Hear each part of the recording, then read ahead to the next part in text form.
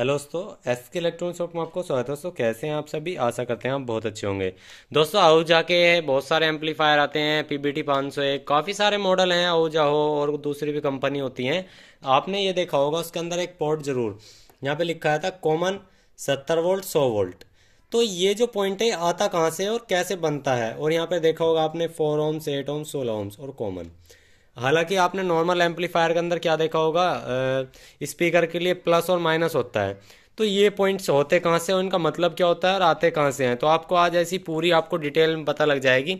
अगर आपको एम्पलीफायर में अपने लगाने हैं तो आप इन्हें कैसे लगा सकते हो? इनका बेनिफिट क्या है और नुकसान क्या है? तो चलिए दोस्तों, वीडियो की तरफ़ चलते हैं। वीडियो को लाइक कर लेना और जो चैनल पे पहली बार वीडियो को देख रहे हैं प्लीज़ यार चैनल को सब्सक्राइब ज़रूर कर लेना।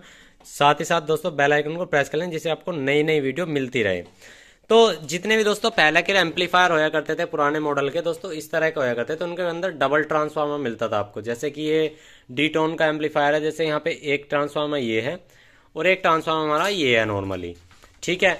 तो इस तरह के ट्रांस जब एम्पलीफायर देखते हैं ना तो ये पहले के एम्पलीफायर में क्या होता था? आउटपुट में ट्रांसफार्मर लगाया गया होता था। आउटपुट में ट्रांसफार्मर लगाने का मैटर क्या है? क्योंकि इसका ड्राइवर बोर्ड और जो यहाँ पे एम्पलीफायर बोर्ड जो है, वो डिज़ाइन इस तरह से है कि इस पे ऑडियो आएगी, तभी आउटपुट देगा। क्योंकि ये मोस्टली ऐसे एम्पलीफायर होते हैं, ज़्यादातर लाइव में आप इन्हें किराए वगैरह पे भी दे दो ना, ये एम्पलीफायर जल्दी से ख़राब नहीं होते। उसका एक बहुत बड़ा रीज़न होता है। अगर सही तरीके से बजाए जाए तो ये ख़राब होते ही नहीं है, ठीक है ना? तो सबसे पहले मैं आपको ये पीछे का सिस्टम बता देना चाहता हूँ, इनका मतलब क्या है, ये देखिए।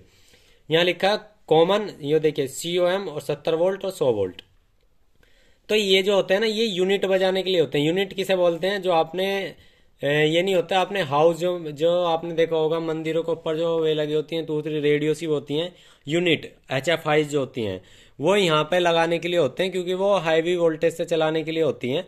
तो आवाज़ के साथ जो वोल्टेज आती है ना यहाँ पे एसी वोल्टेज आती है डीसी नहीं एसी वोल्टेज आती है ये देख रहे हैं। ये सत्तर वोल्ट और सौ वोल्ट मतलब ज़्यादा बड़ी चलाने तो सौ वोल्ट पे लगा सकते हैं, सत्तर वोल्ट पे नॉर्मल के लिए, और ये इसका दोनों का कॉमन है। तो ये जो है ना एचएफ के लिए होता है हाइस के लिए। अगला पॉइंट आ जाता है यहाँ पे common four ohms eight ohms सोलह ओम सोलह ओम्स का मतलब है कोई भी आप सोलह ओम्स का लोड डालें, यानी कि दो स्पीकर को अगर आप सीरीज़ में चला रहे हैं तो सोलह ओम्स पे और कॉमन पे चला सकते हैं, आसानी से कोई दिक्कत नहीं है, ठीक है? और फिर अगला आ जाता है यहाँ पे फोर ओम्स और फिर एट ओम्स तो यहाँ पे जो एट ओम्स यानी कि सिंगल स्पीकर बजाने के लिए, आप दो स्पीकर को पैरेलल में कर रहे हैं तो आप फोर ओम से बजा सकते हैं। क्वालिटी एकदम ज़बरदस्त आएगी कॉमन पे और फोर यहाँ पे। यानी कि आप किसी भी तरह का स्पीकर का सलेक्शन करना चाहेंगे ना तो आप इसे आसानी से बजा सकते हैं। फोर ओम्स का मतलब है यानी कि दो स्पीकर आप इससे आसानी से बजा सकते हैं और दो यूनिट आराम से बजा सकते हैं, कोई दिक्कत आने वाली नहीं है एम्पलीफायर के अंदर। अगर आप इसे यहाँ पे टू ओम्स पे लगाओगे तो बहुत बड़ी दिक्कत आने वाली है। ये जो आउटपुट का ट्रांसफार्मर है, ये खराब हो सकता है और ये आपके जो ट्रांजिस्टर लगे हुए हैं हीट हो सकते हैं। चलिए अब बात कर लेते हैं, इतने सारे ऑप्शन आते कहाँ से लेकिन इसमें तो सिर्फ़ दो ही तार होते हैं। तो मैं आपको बता देना चाहता हूँ, यहाँ पे दो ट्रांसफार्मर होते हैं। एक तो पावर सप्लाई के लिए ट्रांसफार्मर ये जो लगा हुआ है यहाँ पे, ये पावर सप्लाई का ट्रांसफार्मर है जो आप ट्रांसफार्मर देख पा रहे हैं। ठीक है? यहाँ पे हमारी पावर सप्लाई है, यहाँ पे ड्राइवर सेक्शन है इसका, यहाँ पे हमारा एम्पलीफायर सेक्शन है, यहाँ पे इसका ऑडियो सेक्शन है। और ये जो आप ट्रांसफार्मर देख रहे हैं, ये हमारा आउटपुट का। सिंपली इसमें देखिए, यहाँ पे काफ़ी सारे आपको पिन मिल रहे हैं एक तरफ़ एक तरफ़ सिर्फ़ यहाँ पे चार ही पिन है। चार पिन में भी दो पिन एक जगह मिला रखी हैं और ये दो पिनों से यहाँ पे ट्रांजिस्टर से आउटपुट हो रही है। तो यहाँ पे देख लीजिए, अब इसमें दोस्तों पता कैसे लगेगा कि सत्तर वोल्ट के लिए, सौ वोल्ट के लिए लाइन कौन सी है? तो ये देखिए, यहाँ पे ट्रांसफार्मर दिया हुआ है, यहाँ पे दो वायर बिल्कुल बारीक है, मैं थोड़ा सा ऐसे उठा लेता हूँ, जिससे कि आपको अच्छे से दिखे। और इसका मैटर क्या होता है, अभी समझाऊँगा। तो यहाँ पे देखिए दोस्तों, ये देखिए। मैं इसको इस तरह से कर लेता हूँ। यहाँ पे दो वायर बिल्कुल बारीक वायर दिए हुए हैं। देखिए, इनके यहाँ पे दो वायर लगे हुए हैं। यहाँ बारीक वायर हैं। तो मैं ज़रा इस तरह से दिखा देता हूँ आपको। यहाँ देखिए, ये वायर भी दो हैं। ये देखिए ये देखिए, दो वायर हैं ये। तो यहाँ पे ये दो वायर जब देख रहे हैं ना शुरू में, या तो ये बिल्कुल शुरू में होंगे या बिल्कुल लास्ट में होंगे। तो जो बारीक वायर होंगे ना एक तरफ़ की तरफ़ तो एक तो होगा दोस्तों इसमें डबल वाला, एक होगा दोस्तों सिंगल वाला। तो देखिए यहाँ पे ब्लू वाला जो है, मैं आउटपुट पे देखूँ तो ब्लू वाला सत्तर वोल्ट पे है, ठीक है? अगर हमने अगले वाला बात करी जाए, यहाँ पे ये जो देख रहे हैं, यहाँ पे ये ये वाला तो ये लगा हुआ हमारे सौ वोल्ट पे। यानी कि ये जो बीच में होती है, कोयल का बीच वाला एरिया जो होता है, दोस्तों, हमेशा याद रखना, जैसे आपका कोई भी ट्रांसफार्मर है, जैसे ये भाई बारह ज़ीरो बारह का ट्रांसफार्मर है तो यहाँ पे अगर हम वोल्टेज चेक करी जाए, जैसे आपने यहाँ से चेक करी वोल्टेज तो यहाँ से, यहाँ तक बारह होगी, यहाँ से ऊपर डबल हो जाएगी। तो भाई, उसमें भी ऐसी तीन तार हैं तीन तार, वो तीसरा तार कहाँ लगा हुआ है? यहाँ से कोयल बनी हुई है। इस मोटे वाले तार के साथ एक बारीक तार भी है। तो ये जो आउटपुट का ट्रांसफॉर्मर होता है, ये तीन तार एक होते हैं। मतलब यहाँ पे ज़ीरो, सत्तर वोल्ट और सौ वोल्ट ये तीन एक हो गए और ये चार एक होते हैं हमारे। जैसे कि आपने कोई भी ट्रांसफॉर्मर बनाना शुरू करते हैं तो जो पहला तार होता है, सबसे पहला वो न्यूट्रल होता है, यानी कि कॉमन होता है। तो ऐसे इसमें यहाँ पे ब्लैक वाला कॉमन लिया है।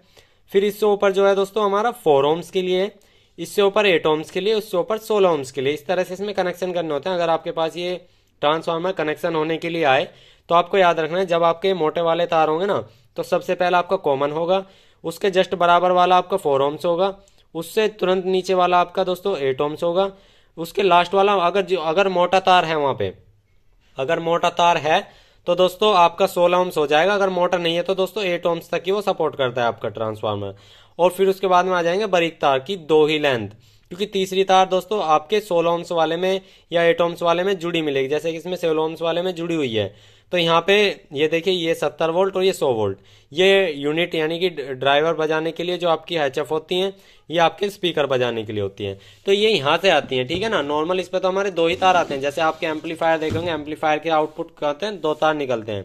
स्पीकर की प्लस और माइनस तो इसमें क्या होता है? पहले ट्रांसफार्मर पे वोल्टेज जाती है।